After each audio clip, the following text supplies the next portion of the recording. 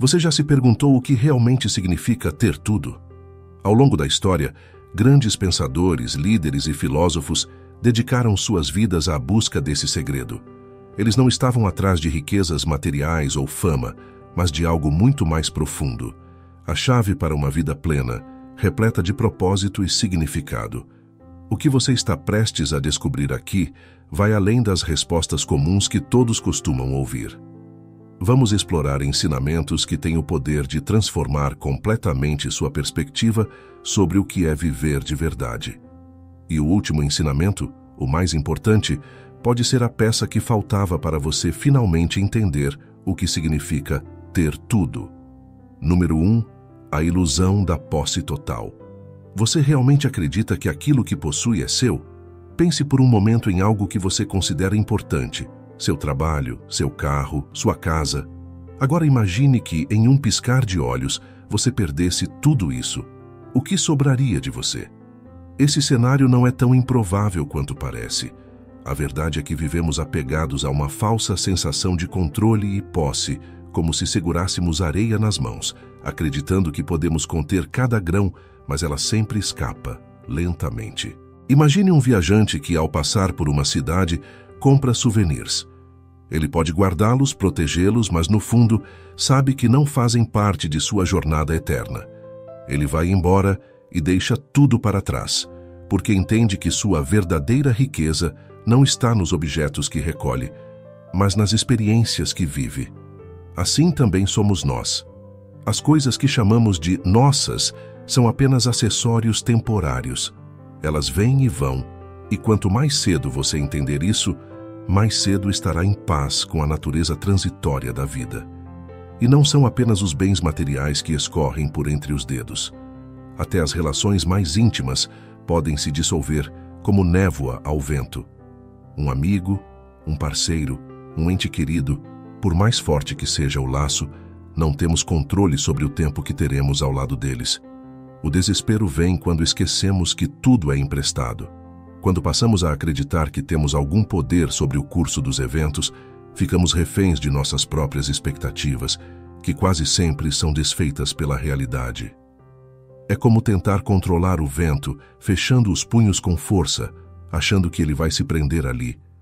Mas o vento não pode ser aprisionado, assim como a vida não pode ser segurada. Aquele que tenta manter o controle absoluto vive numa luta interminável contra o inevitável. Ao contrário, quem solta o que não pode segurar descobre uma liberdade silenciosa, um espaço de paz onde as preocupações perdem seu peso. No final das contas, a única posse verdadeira que você pode reivindicar é a de sua própria mente. Sua maneira de enxergar o mundo, suas reações e pensamentos, isso sim está ao seu alcance. Imagine que você é o comandante de um navio em meio a uma tempestade. Você não pode controlar o mar, mas pode controlar o leme. O que você faz quando tudo ao redor parece fora de controle? Segura o leme firme ajusta as velas e deixa o vento soprar como quiser. Quando você aceita que o mundo não lhe deve nada, que nada é realmente seu, uma grande libertação acontece. Você percebe que, paradoxalmente, ao não querer controlar tudo, você já possui tudo o que precisa. A paz interior, o autocontrole, a capacidade de viver plenamente o presente. Esses são os únicos tesouros que não podem ser tirados de você. O que você tem, na verdade, está dentro de você, e enquanto se lembrar disso, nunca estará verdadeiramente sem nada. Número 2. O domínio sobre o inevitável. Você já tentou segurar água com as mãos? Quanto mais força coloca, mais rápido ela escapa pelos dedos. A vida é assim. Muitos passam a maior parte do tempo lutando contra o que não podem mudar, tentando controlar o inevitável. A verdade é que a resistência não detém a correnteza, ela apenas faz com que nos afoguemos mais rápido. Ao tentar dominar o incontrolável, nos tornamos vítimas das marés da vida, em vez de navegadores sábios que usam o vento a seu favor. Imagine que você está em um barco em mar aberto. O vento, a chuva, as ondas furiosas tudo isso está fora do seu controle. Você pode gritar com o céu, reclamar das águas agitadas, mas nada disso mudará a tempestade. O que está sob seu controle, no entanto, é como você ajusta as velas. Resistir ao inevitável é como tentar remar contra uma correnteza implacável. Não importa o quanto você lute, o cansaço vai te vencer e você será arrastado de volta. Mas aceitar a força do rio e usar seu fluxo a seu favor é o segredo para navegar com sabedoria. Em nossa vida diária, as tempestades são os eventos que nos pegam desprevenidos. A perda de um emprego, uma doença inesperada, a rejeição de alguém que amamos. Não importa o quanto planejamos, esses momentos sempre virão como nuvens escuras surgindo no horizonte. A diferença entre quem naufraga e quem continua a viagem é simples. Alguns gastam sua energia reclamando do mau tempo, enquanto outros aceitam e ajustam o curso. Uma árvore durante uma tempestade se curva diante dos ventos fortes, mas não se quebra. Por quê? Porque ela aprendeu a flexibilidade.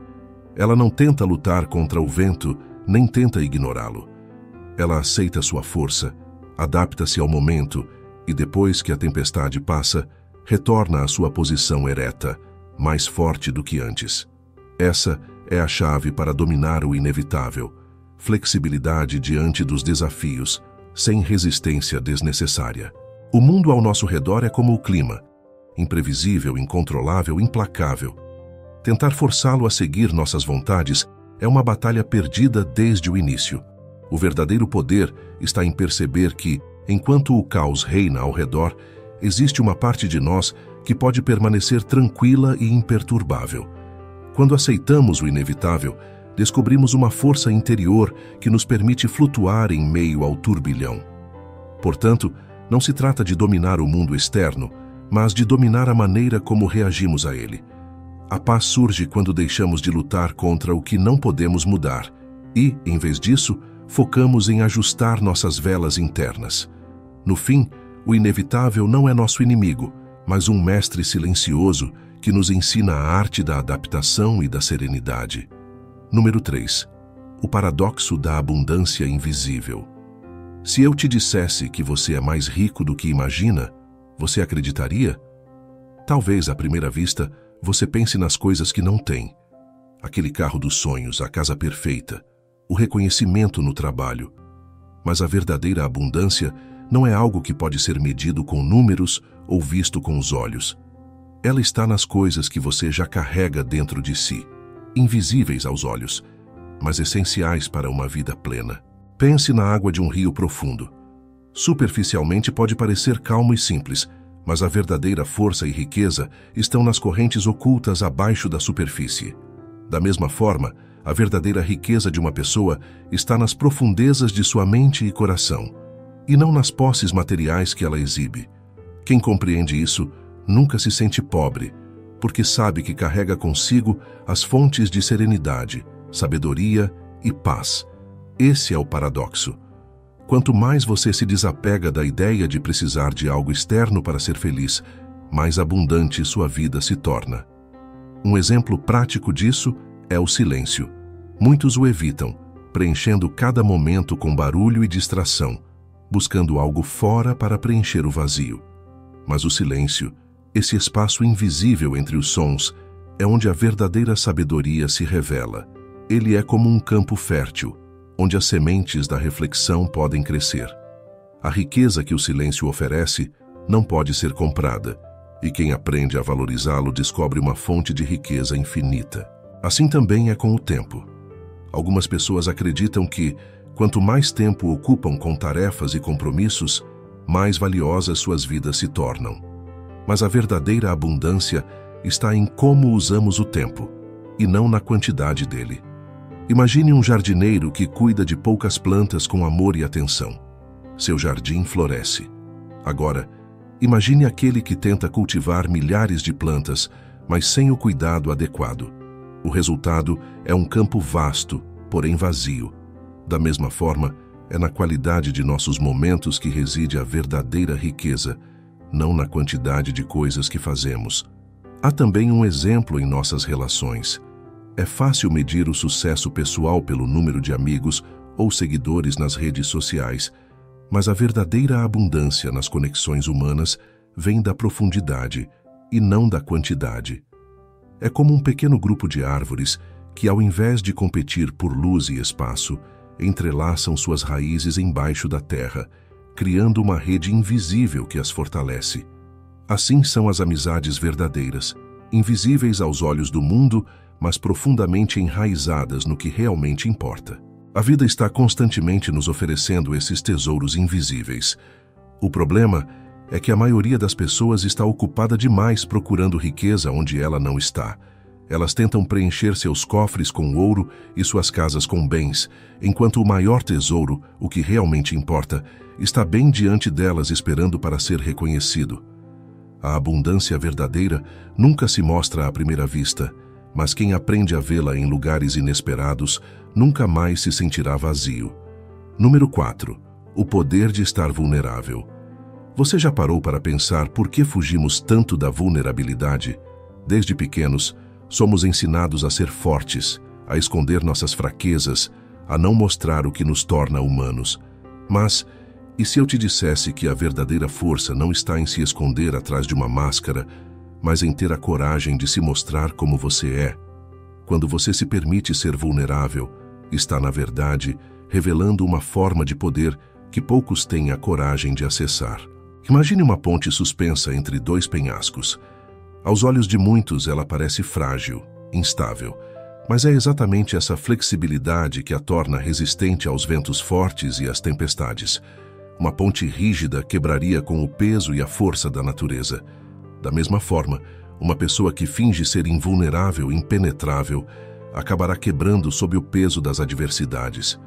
No entanto, aquele que aceita suas falhas, suas fragilidades, é como a ponte flexível, resistente porque é capaz de se adaptar, de se curvar diante das dificuldades sem se romper. A vulnerabilidade é um campo fértil, onde o crescimento pessoal floresce. Quando você admite que não sabe tudo, que pode falhar, abre espaço para aprender, para melhorar. Pense em um vaso de barro. É a abertura, o espaço vazio dentro dele que lhe dá utilidade. Se o vaso fosse sólido, ele não teria função. Assim é o coração humano. Quando nos fechamos em uma armadura de autossuficiência, perdemos a oportunidade de receber, de crescer, de conectar profundamente com os outros. Na prática, imagine uma situação comum no trabalho. Você erra em um projeto e sua primeira reação é esconder o erro, temendo o julgamento. Mas ao admitir a falha, você demonstra não apenas coragem, mas também uma confiança interior que não depende da opinião alheia. As pessoas respeitam quem assume seus erros, porque isso exige uma força maior do que fingir perfeição. A ironia é que, ao mostrar nossas falhas, acabamos ganhando mais respeito e confiança dos outros. A vulnerabilidade também fortalece os relacionamentos. Quando você se abre genuinamente com alguém, sem medo de ser julgado, cria uma conexão que vai além da superfície. É como uma árvore que cresce em solo profundo, onde as raízes encontram nutrientes e água escondidos. As relações que se formam através da vulnerabilidade são mais fortes e duradouras, porque não se baseiam em aparências ou expectativas, mas em uma verdade compartilhada. Portanto, ser vulnerável não é fraqueza, é coragem. Coragem de enfrentar o julgamento, a rejeição, a imperfeição. E quanto mais você se permite ser vulnerável, mais você descobre que o medo de se mostrar era a única coisa que te impedia de ser verdadeiramente forte. No final, a vulnerabilidade não destrói, ela constrói. Número 5. A prisão do ego oculto. Você já se sentiu prisioneiro de si mesmo, de uma imagem que precisa manter, mesmo que por dentro as coisas estejam desmoronando. Isso é o ego, uma armadilha invisível que nos leva a crer que devemos sempre ser admirados, sempre ter razão, sempre ser os melhores. Mas o ego é como uma gaiola de ouro. Por fora parece brilhante e desejável, mas por dentro sufoca e limita. Quem vive para alimentar o ego nunca está verdadeiramente livre. Imagine um ator que, após anos de sucesso no palco, se perde no personagem que criou. Ele já não sabe onde termina o papel e começa sua verdadeira essência. vive para os aplausos, para a aprovação da plateia e, quando o espetáculo acaba, sente-se vazio. Assim também acontece com aqueles que vivem em função de uma imagem idealizada. Eles perdem o contato com quem realmente são, trocando autenticidade por aprovação. O ego nos faz acreditar que precisamos provar algo para o mundo, mas na verdade é o contrário. Quanto mais você tenta se destacar, mais prisioneiro se torna dessa busca incessante por reconhecimento. É como tentar segurar uma sombra. Quanto mais corre atrás dela, mais ela escapa. E o que acontece quando você desiste de perseguir a sombra? Ela simplesmente desaparece, porque nunca foi real. Da mesma forma, quando você abandona a necessidade de ser visto e admirado, encontra uma paz que só aqueles que se libertaram do ego conhecem. Pense em uma montanha. Ela está ali firme, majestosa, independente do olhar de quem a contempla. A montanha não precisa de aplausos para ser grande. Ela é grande por si só. Da mesma forma, você não precisa de validação externa para ser quem é. Quando vive em função do ego, está constantemente esperando que os outros lhe digam seu valor. Mas quando se liberta dessa necessidade, seu valor passa a ser intrínseco, inabalável, como a montanha. Na prática, isso pode ser visto em situações simples. Imagine uma discussão. O ego quer vencer, quer estar certo a todo custo, mesmo que isso custe uma amizade, um relacionamento. Mas quando você abandona a necessidade de estar sempre certo, percebe que ganhar uma discussão não vale o preço da paz interior. O verdadeiro vencedor é aquele que sabe quando deixar ir, quando escolher a tranquilidade sobre o orgulho. A verdadeira liberdade vem quando você não precisa mais que o mundo te veja de uma certa maneira. Quando deixa de se importar com a opinião alheia e começa a viver para si mesmo, descobre que o que mais importa nunca esteve fora de você. A prisão do ego é sutil, mas quem consegue enxergá-la pode finalmente escapar.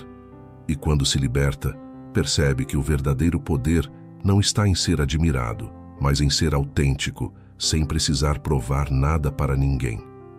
Número 6. A simplicidade oculta na complexidade. Você já parou para pensar como a vida se torna cada vez mais complicada à medida que tentamos controlar todos os detalhes? A verdade é que, quanto mais complexos fazemos nossos dias, mais nos afastamos da verdadeira essência da vida. A simplicidade é um presente escondido sob camadas de desejos e distrações que acumulamos ao longo do tempo.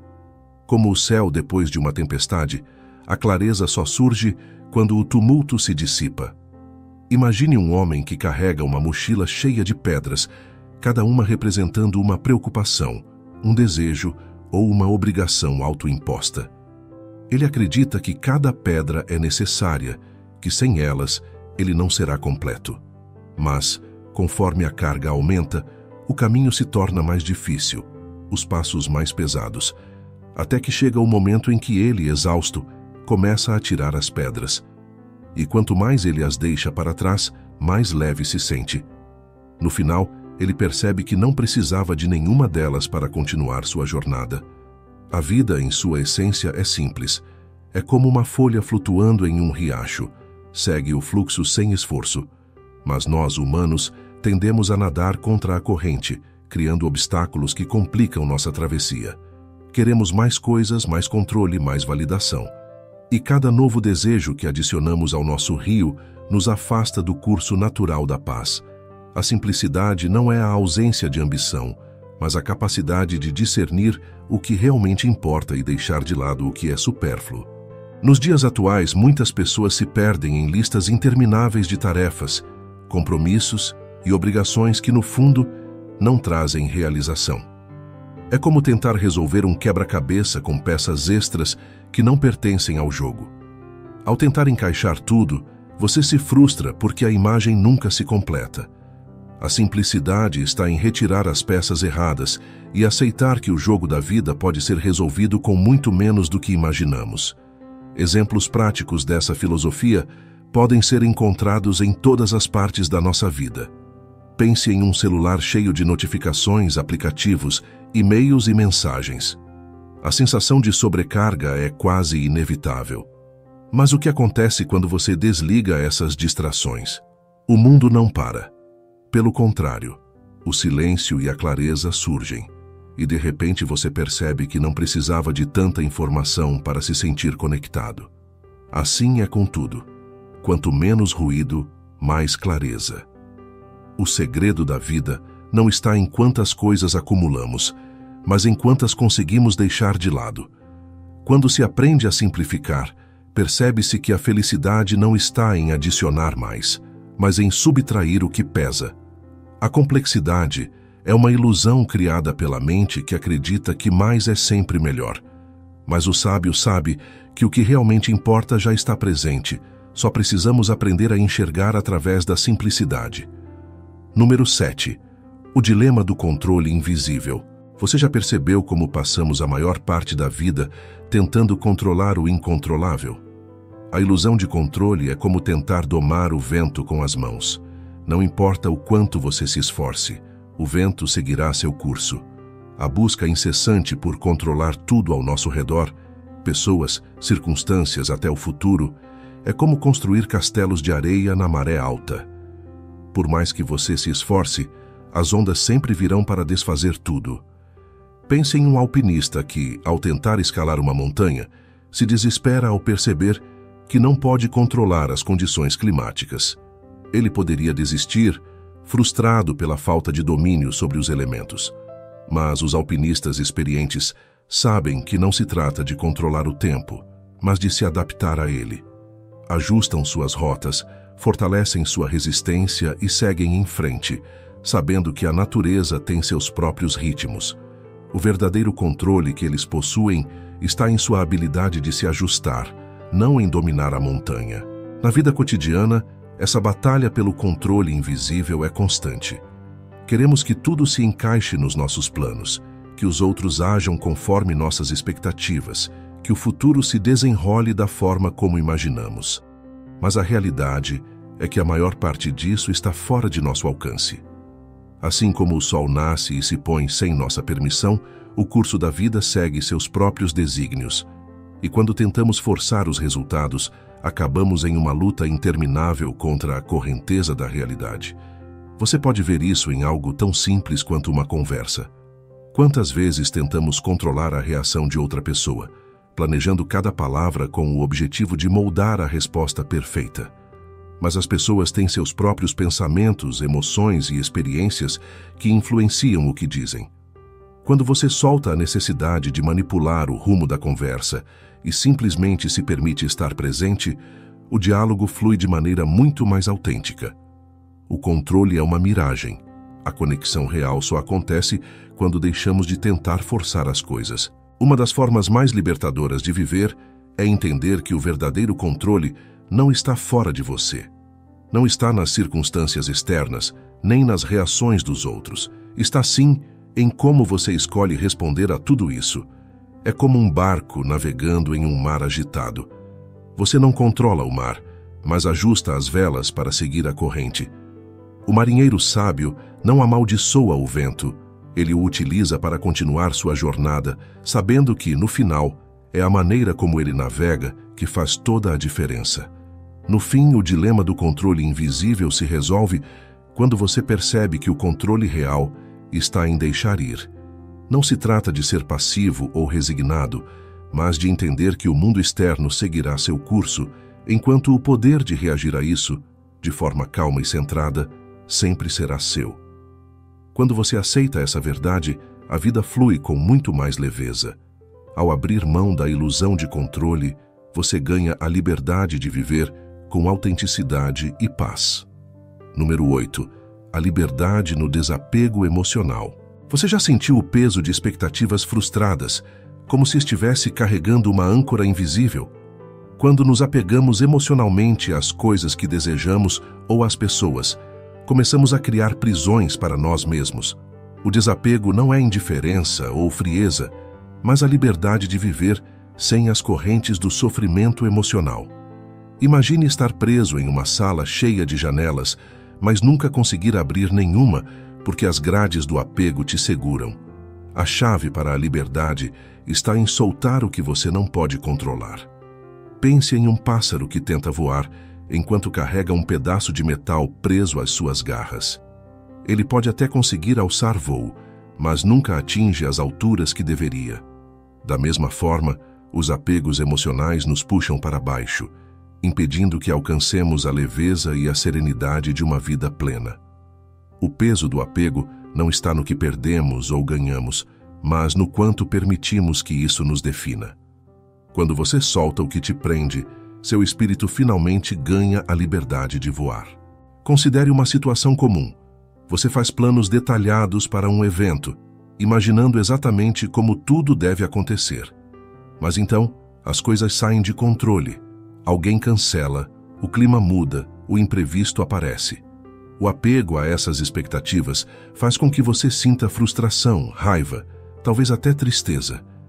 Mas o que realmente causa esse sofrimento não são os eventos em si, e sim o apego à ideia de que tudo deve acontecer conforme seu desejo. Desapegar é aceitar a impermanência, saber que o imprevisto faz parte da vida e que nem tudo precisa seguir o seu roteiro para ter valor.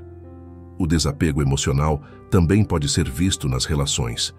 Quando nos apegamos à ideia de que as pessoas devem nos amar de uma certa maneira ou agir de acordo com nossas expectativas, acabamos criando um campo de tensão. O amor que floresce do desapego é mais livre, mais puro. É como soltar uma borboleta e permitir que ela voe livremente, ao invés de tentar mantê-la presa em suas mãos. Quem ama sem apego não sofre quando o outro precisa seguir um caminho diferente, porque entende que o amor verdadeiro não está na posse, mas na liberdade. Desapegar-se emocionalmente é como deixar de remar contra a correnteza de um rio. Você para de lutar contra o fluxo natural da vida, contra o que não pode ser mudado, e aprende a fluir com ele. Isso não significa desistir ou ser passivo, mas sim entender que a verdadeira força está em aceitar o que não se pode controlar. Quando você solta o controle sobre os resultados, começa a experimentar uma liberdade emocional que antes parecia inalcançável. No final, a liberdade no desapego emocional não é ausência de sentimentos, mas a sabedoria de entender que nada é permanente e que o sofrimento nasce da tentativa de agarrar o que inevitavelmente passará. A verdadeira liberdade surge quando você permite que a vida flua em seu próprio ritmo, sem se prender a expectativas ou resultados. Você descobre que a leveza da vida está em soltar e que, ao soltar, você ganha muito mais do que jamais imaginou. Número 9 a vitória silenciosa sobre o medo. O que você faria se não tivesse medo? O medo é um dos maiores obstáculos que nos impede de alcançar nossa verdadeira potencialidade. Ele nos paralisa, nos mantém em uma zona de conforto ilusória e, o pior de tudo, é que muitas vezes ele sequer é real. O medo é uma sombra que toma formas monstruosas em nossa mente, mas que, quando enfrentada com coragem, se dissipa como a neblina ao nascer do sol. A vitória sobre o medo não é barulhenta. Ela acontece em silêncio, dentro de nós, quando decidimos seguir em frente apesar do pavor que sentimos. Imagine um guerreiro que, antes de uma batalha, sente o peso esmagador da incerteza. Seu coração acelera, suas mãos tremem e sua mente corre com cenários de derrota. Mas ele sabe que o medo não é seu inimigo, é seu guia o medo não está lá para ser evitado, mas para ser reconhecido. Assim como uma bússola, ele aponta para aquilo que mais importa, para aquilo que realmente merece ser enfrentado. O verdadeiro guerreiro não é aquele que não sente medo, mas aquele que o encara, reconhece sua presença e ainda assim avança. Na vida cotidiana, o medo toma formas sutis. O medo do fracasso nos impede de tentar algo novo, o medo da rejeição nos faz evitar relacionamentos profundos. O medo do desconhecido nos mantém presos em empregos que não nos satisfazem. Mas o que aconteceria se, ao invés de fugir, olhássemos para o medo com curiosidade? E se, ao invés de evitá-lo, decidíssemos atravessá-lo? Quando confrontamos o medo, descobrimos que ele é muito menor do que imaginávamos. Ele é como um gigante feito de papel. Parece imenso à distância, mas quando nos aproximamos, ele se desfaz com o menor toque de coragem. O medo também é uma ilusão que se alimenta de nossa imaginação. Pense em quantas vezes você se preocupou com algo que nunca aconteceu. O medo nos coloca em um estado de alerta constante, nos fazendo lutar contra inimigos que não existem. É como um cão que late para sombras, acreditando que são ladrões.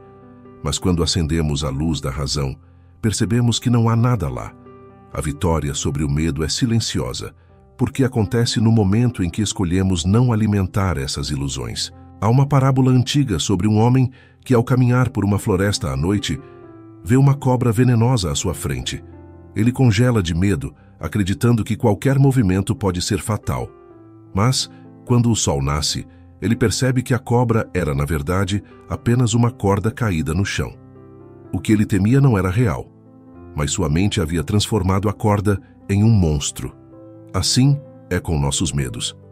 Quando a luz da verdade ilumina nossas preocupações, percebemos que muitas delas eram apenas cordas que nossa mente transformou em serpentes. A vitória sobre o medo não precisa de gritos ou demonstrações de força. Ela acontece em momentos de silêncio, quando decidimos com calma avançar em direção ao que nos assusta. O medo estará sempre lá, mas ele não precisa nos controlar. O segredo está em reconhecer sua presença, não como um tirano que nos impede de viver, mas como um professor que nos ensina onde devemos crescer. Ao caminhar ao lado do medo, e não sob seu domínio, você descobre uma nova forma de liberdade, a liberdade de ser quem realmente é, sem as correntes invisíveis que o medo tenta colocar em você. Número 10. A quietude diante do caos. Quando o mundo ao seu redor está em desordem, qual é a sua reação? A maioria das pessoas se desespera, tenta controlar o incontrolável ou se deixa consumir pela ansiedade. No entanto, existe um poder profundo em permanecer quieto no meio do caos, em ser o ponto de tranquilidade quando tudo parece desmoronar. A quietude não é apenas uma ausência de ação, mas um estado interno de força e clareza que nos permite enxergar além da tempestade. Como o olho de um furacão, que permanece calmo enquanto os ventos ao seu redor devastam tudo, a quietude é o verdadeiro centro do poder. Imagine um lago em um dia de tempestade. As ondas se agitam na superfície, empurradas pelo vento, criando a impressão de que o lago está em constante turbilhão. Mas nas profundezas, a água permanece intocada, tranquila, imperturbável. Assim deve ser nossa mente diante do caos. Enquanto a superfície de nossas vidas pode ser balançada pelos eventos externos, problemas no trabalho, desafios financeiros, crises pessoais, nosso interior deve permanecer profundo e sereno, inalterado pelas circunstâncias. A verdadeira paz não é a ausência de problemas, mas a capacidade de manter a calma no meio deles. No cotidiano, o caos pode surgir de maneiras inesperadas. Uma discussão acalorada, uma situação de emergência ou uma mudança repentina. A reação instintiva de muitos é a de agir impulsivamente, como se correr em círculos resolvesse o problema. Mas a quietude, ao contrário, nos oferece um ponto de vantagem. É como um general em meio a uma batalha que, ao invés de se desesperar com o caos ao redor, mantém-se imóvel por um momento, observando, pensando, tomando decisões estratégicas com base na clareza, não no pânico.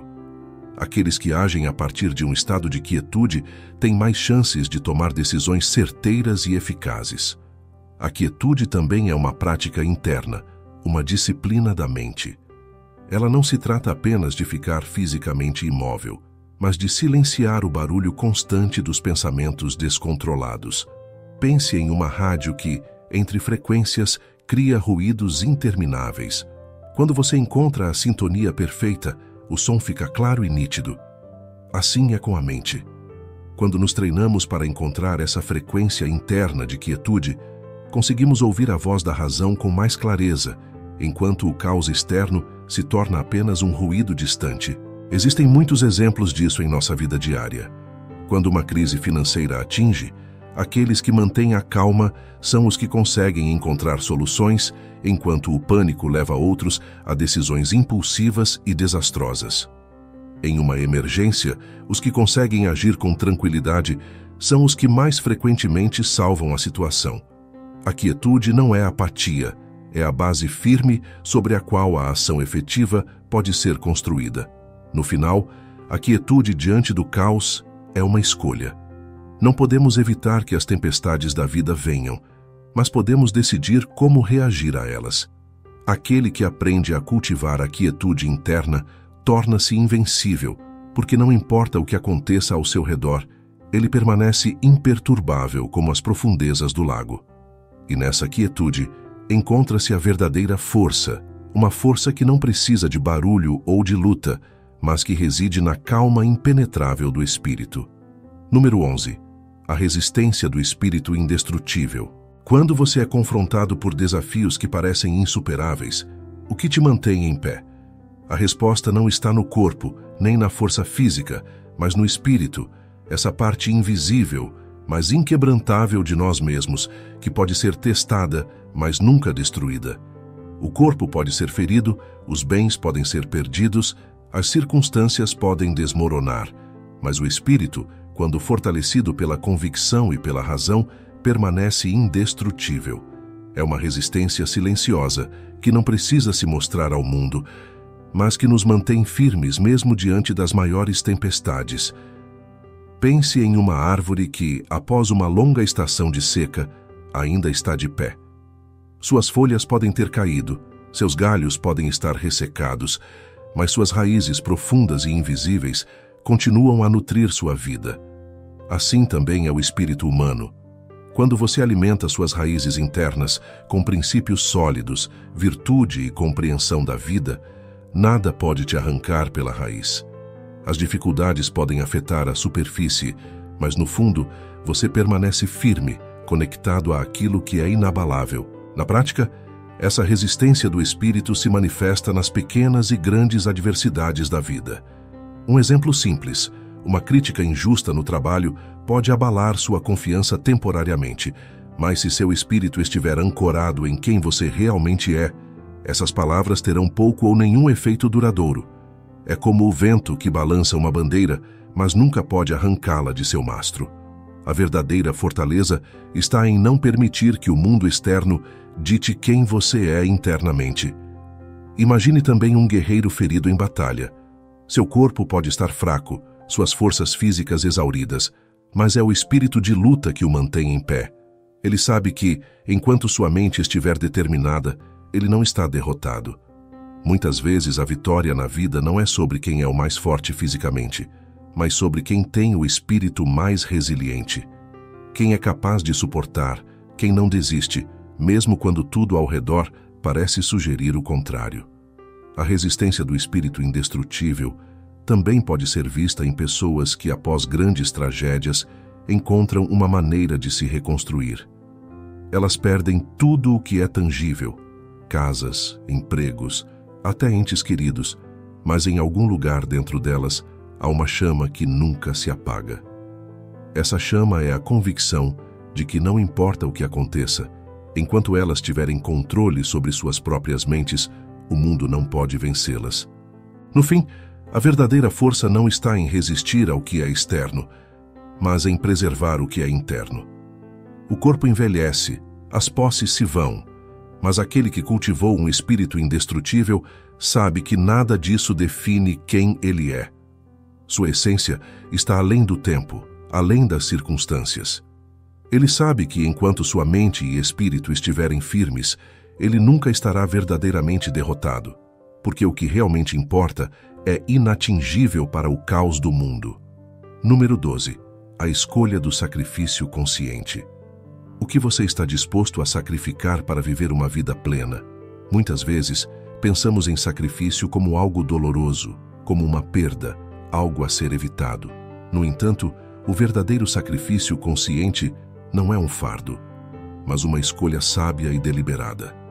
Sacrificar, no sentido mais profundo, é abrir mão de algo menor para obter algo muito maior.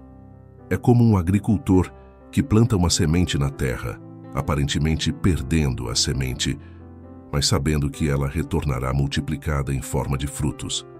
O sacrifício não é um fim, mas um meio de alcançar uma vida mais significativa. Imagine um alpinista que decide deixar para trás o excesso de peso em sua mochila para conseguir escalar uma montanha. Ele abandona coisas que, naquele momento, parecem essenciais: equipamentos, alimentos extras, até objetos de valor sentimental. Mas ele sabe que, se quiser chegar ao topo, precisa carregar apenas o que é absolutamente necessário. Assim também é com a vida. Muitas vezes, precisamos abrir mão de desejos imediatos, confortos momentâneos e até de algumas oportunidades para alcançar algo maior e mais duradouro. No dia a dia, o sacrifício consciente se manifesta de várias maneiras. Pode ser visto na decisão de um profissional que, em vez de aceitar uma promoção lucrativa, opta por passar mais tempo com a família, sabendo que essa escolha alimentará sua felicidade a longo prazo. Ou na pessoa que sacrifica o conforto de permanecer na zona de segurança para seguir um sonho, mesmo sabendo dos riscos e incertezas que essa escolha traz.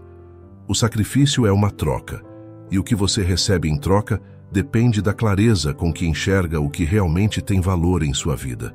Um exemplo clássico é o atleta que renuncia a prazeres momentâneos, festas, indulgências, até tempo livre, para treinar e se preparar para a competição.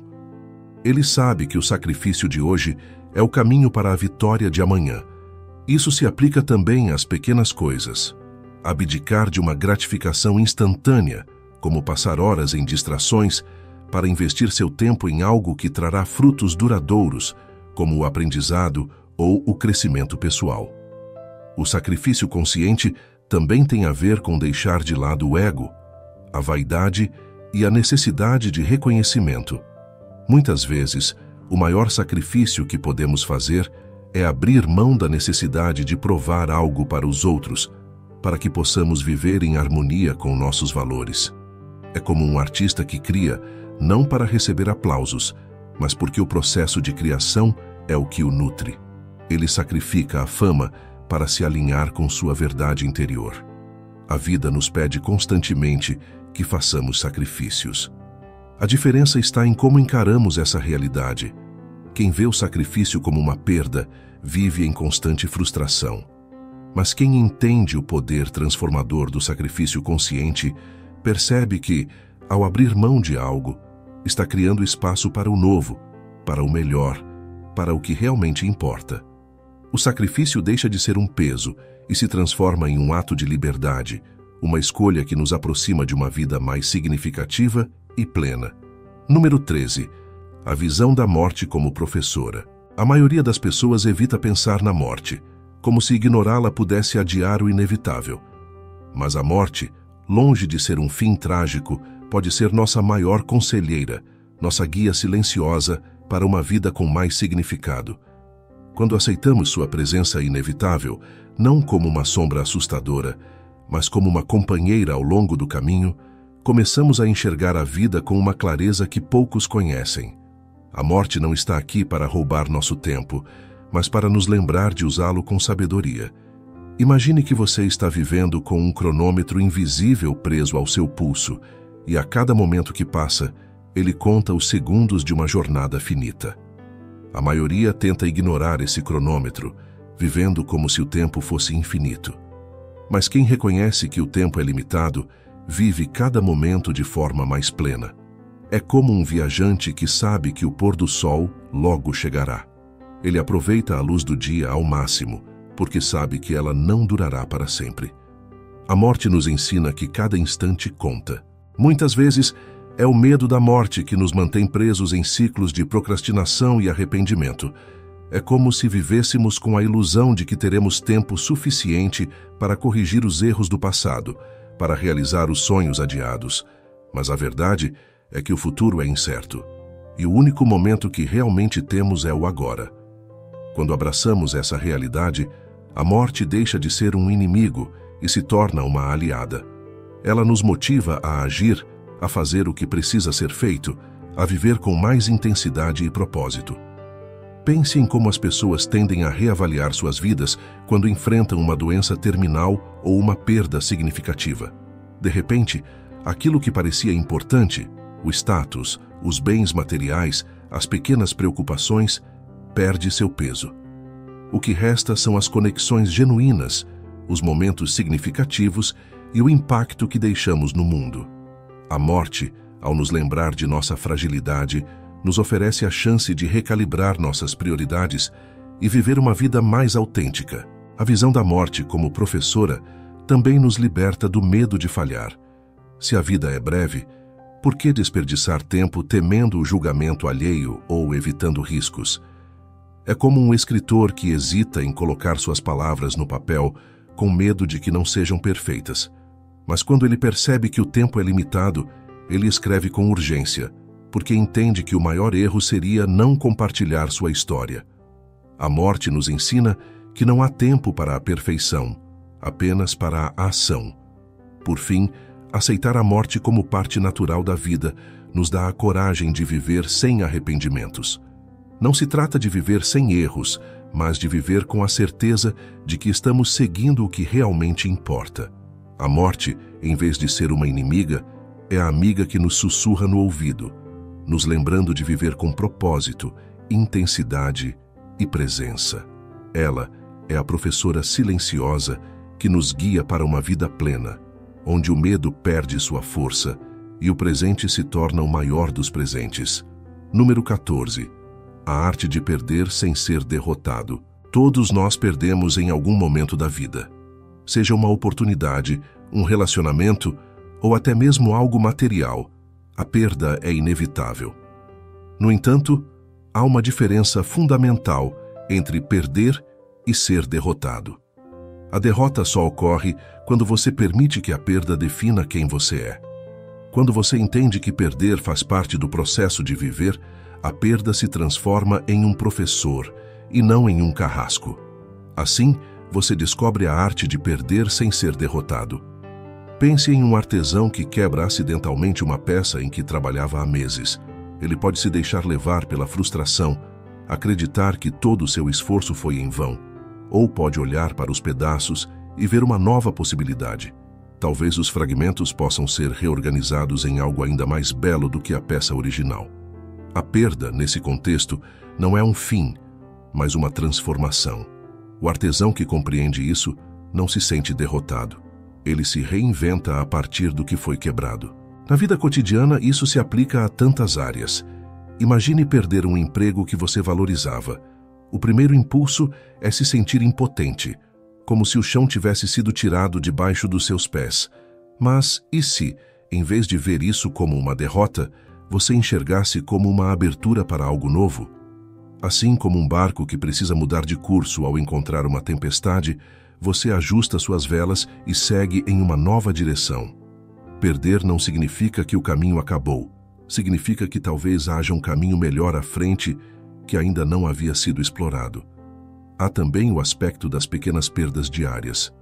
Quando algo não sai como esperado, a tendência é se afundar no desapontamento. No entanto, a pessoa que entende a arte de perder sabe que cada perda carrega uma lição valiosa. É como um quebra-cabeça que, ao ser desmontado, revela novas formas de montar a imagem. A cada erro, você se aproxima de uma versão mais completa e verdadeira de si mesmo. A metáfora do bambu ilustra bem essa ideia. Quando o vento sopra forte, o bambu não resiste.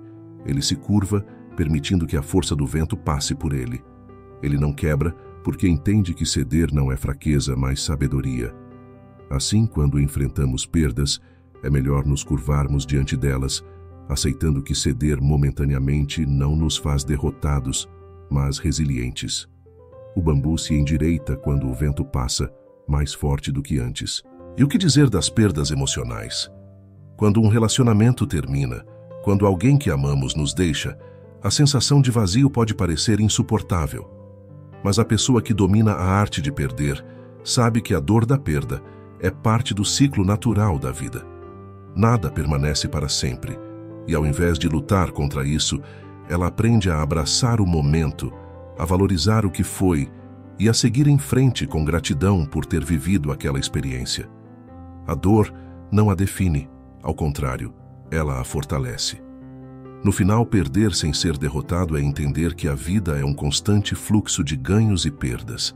A verdadeira vitória não está em evitar perdas, mas em aprender com elas, em usá-las como degraus para algo maior.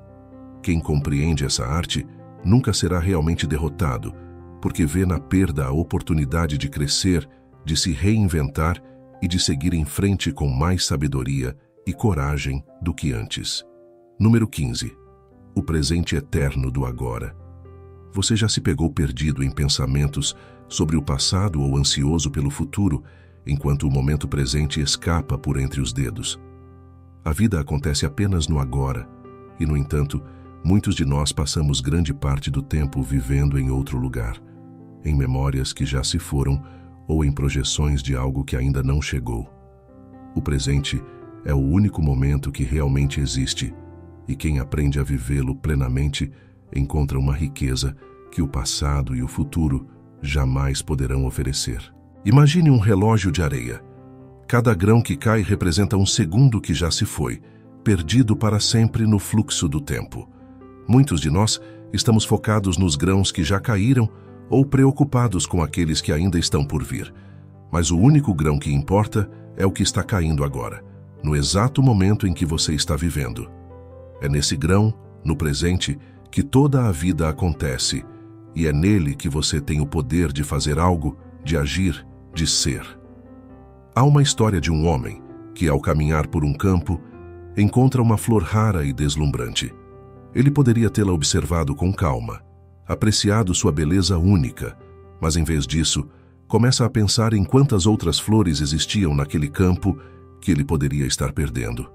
Ao buscar incessantemente por algo que talvez nem existisse, ele se esqueceu de apreciar o que estava bem diante de seus olhos. O presente, assim como a flor, é fugaz, e se você não prestar atenção, ele desaparece antes que você tenha a chance de vivê-lo. Viver no agora também é uma forma de se libertar das amarras do passado. O que já aconteceu não pode ser alterado, e reviver repetidamente as falhas, dores ou arrependimentos é como tentar navegar por águas que já secaram. O passado pode ensinar, mas não pode ser vivido novamente. Da mesma forma, o futuro é uma miragem, sempre distante, sempre incerto. Planejar é necessário, mas viver preocupado com o que ainda não aconteceu é desperdiçar o momento presente, que é a única coisa que você realmente possui. Há um ditado que diz: o ontem é história, o amanhã é um mistério, mas o hoje é uma dádiva. É por isso que o chamamos de presente. Esse presente é onde você pode criar, onde você pode amar, onde você pode ser. Quando você se permite estar totalmente no agora, sem distrações, sem pressa, você descobre uma profundidade e uma paz que as lembranças do passado ou as expectativas do futuro nunca poderão proporcionar. É como mergulhar em um lago calmo, onde cada sensação é sentida com clareza e nada existe além daquele momento. Na prática, isso significa estar consciente de cada pequeno detalhe, a maneira como a luz entra pela janela, o som das folhas ao vento, a sensação da respiração em seu corpo. Viver no presente é se entregar completamente ao que está acontecendo agora, sem permitir que a mente vagueie para lugares distantes. Quando você aprende a fazer isso, o tempo parece desacelerar. Cada instante se expande e o que parecia uma simples passagem de segundos se transforma em uma experiência rica e cheia de vida. Aqueles que vivem no presente possuem tudo, porque perceberam que o passado já não tem poder sobre eles e o futuro ainda está por vir. Tudo o que realmente importa está aqui e agora. E ao dominar essa verdade, você descobre que não há necessidade de buscar algo fora deste momento porque o agora, vivido com plenitude, já contém tudo o que você precisa. Se você chegou até aqui, tenho certeza de que está pronto para dar o próximo passo. Nos vídeos que estão aparecendo na tela agora, você vai encontrar ainda mais ensinamentos que podem transformar sua maneira de enxergar a vida. Escolha um deles e continue essa jornada de descoberta. Clique agora e mergulhe mais fundo nesses temas tenho certeza de que um deles será exatamente o que você precisa ouvir hoje.